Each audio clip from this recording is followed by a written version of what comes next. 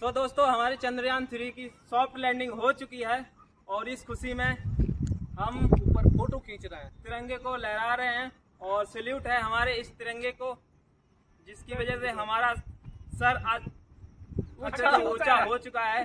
तो जय हिंद दोस्तों और सैल्यूट